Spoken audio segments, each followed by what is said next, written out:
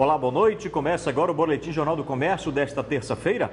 O Polo Industrial de Manaus faturou nos primeiros sete meses deste ano 43 bilhões e 87 milhões de reais. O resultado representa alta de 11,75% sobre igual período de 2012.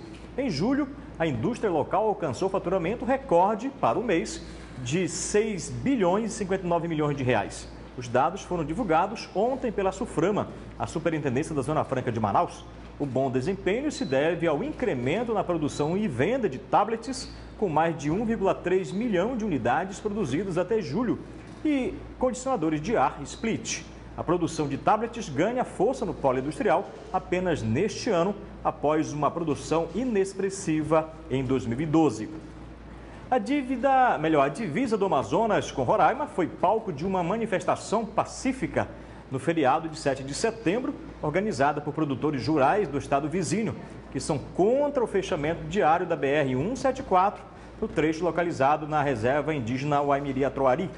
O objetivo era de alertar para os prejuízos causados ao setor produtivo dos estados com o fechamento de 125 quilômetros da rodovia pelos indígenas no horário, nos horários de 18h30 às 5h30 da manhã.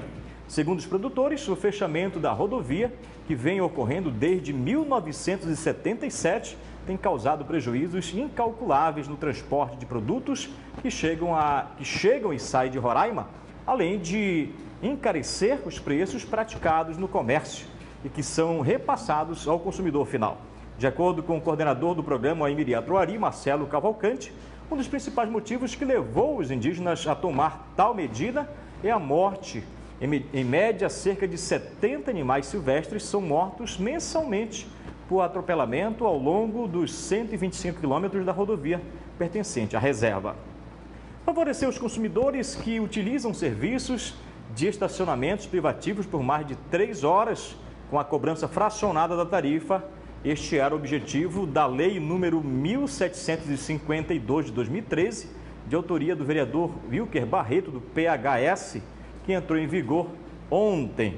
No entanto, logo no primeiro dia de vigência, estabelecimentos comerciais de Manaus deram demonstrações de que a nova legislação poderá ter julgamento, melhor, justamente o efeito contrário, aumentando o valor pago aos estacionamentos privativos. O autor da proposta reconheceu que houve abuso nas primeiras 24 horas da lei, após denúncias com relação ao aumento do preço da hora paga pelos consumidores. O Wilke Barreto solicitou apoio da Comissão de Defesa do Consumidor, da Ouvidoria, da CMF, Secretaria Municipal de Finanças, do PROCON Municipal e da Delegacia do Consumidor para dar início à fiscalização do cumprimento da lei em Manaus. A Blitz começou na tarde desta terça-feira pelos estacionamentos privados no centro de Manaus. O líder do prefeito afirmou, porém, que neste primeiro momento a abordagem terá é, caráter educativo e não punitivo. Este foi o Boletim Jornal do Comércio desta terça-feira. Lembrando que você pode ver em primeira mão o destaque de amanhã, às 9 horas, no Jornal da Amazônia. Até lá. Oferecimento Jornal do Comércio o jornal que mais entende de economia e negócios no Amazonas.